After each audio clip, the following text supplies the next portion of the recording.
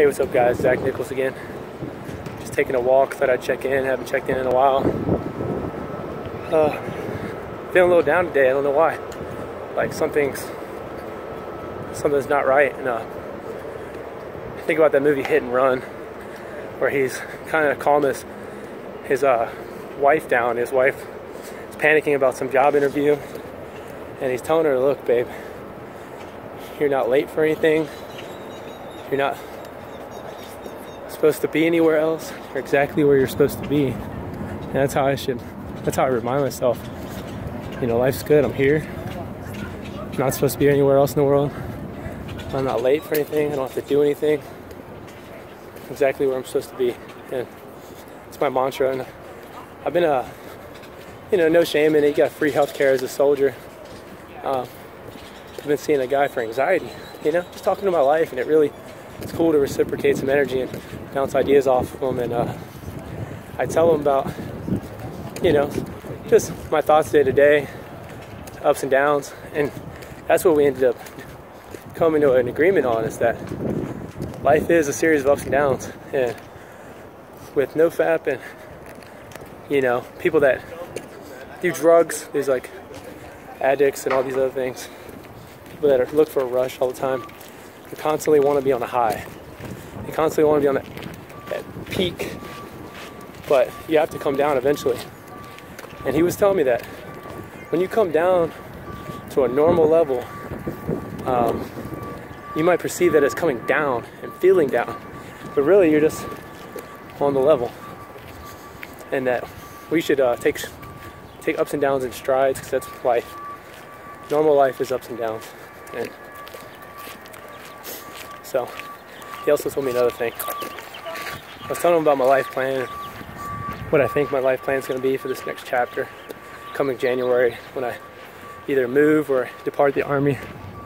Uh, he was telling me that whatever I decide to do, stick with that for 90 days.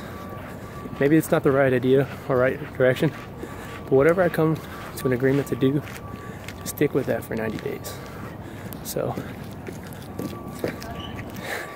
kind of get weird out here walking through all the people. But, uh, and that was huge for me 90 days. We started talking about other things. And I told him, I flat out told him about NoFap. I told him about, you know, I do this thing and I believe, and it's a belief system. I believe that it works, therefore it works. Uh, and I don't want to, I didn't want that to sound like a placebo effect, but I wanted it to be like more like the belief in, con- in, in conjunction with the actual benefits. It has like a synergistic effect because if you're believing, you're putting energy toward it, you're committing to it, you're telling yourself this is working. The positive self-talk is amplifying it. Um, and he said, "Yeah, that's good. Do that for 90 days." And then every time I told him about a thought or an idea or a new challenge, new uh, approach I would take to school, he would tell me, yeah, do that for 90 days. When you get to 90 days and that doesn't work, do something else. Do that for 90 days. And he said, if you get to 90 days and it works, or you like it, or you like the plan, do it for another 90 days. Re up for another, another 90 days. And uh, it makes me think about all the videos, the 90 day, 90 day challenge or 90 day uh, update. You know, people post, and it's just like there's no, it's no magical number, but it's a solid, it's a solid uh, rule to go by. You know, so if this is day 14, here's looking at 90, uh, and at that 90, I have no doubt that I want to re up for another 90. So.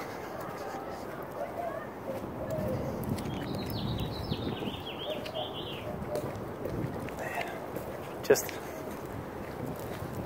being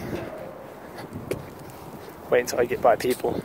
Not really the best at doing this and walking through. It's like people around. but what I said to him was that I want my word to mean more to myself. I want to increase the value of my word. Because I would tell myself you know, hey, maybe it's something like this. You tell yourself, we're to start working out and eating right. And do it for like a, a week, a month. New Year's resolution. January's strong, February fizzles out. But if your word, if you promise yourself, you made an agreement, and your word matters to yourself, then you won't break it. You won't fizzle out. You'll go strong for months. Anyways, what do you guys think about 90 days? Let me know. Let me know if it is maybe a magic number and there's something I'm missing. Uh, like, comment, subscribe. A little bit of a rant as usual, but I'm walking around in public, so hold my phone out like a weirdo. All right, guys. Hit me up in the comments look forward to another video. Peace.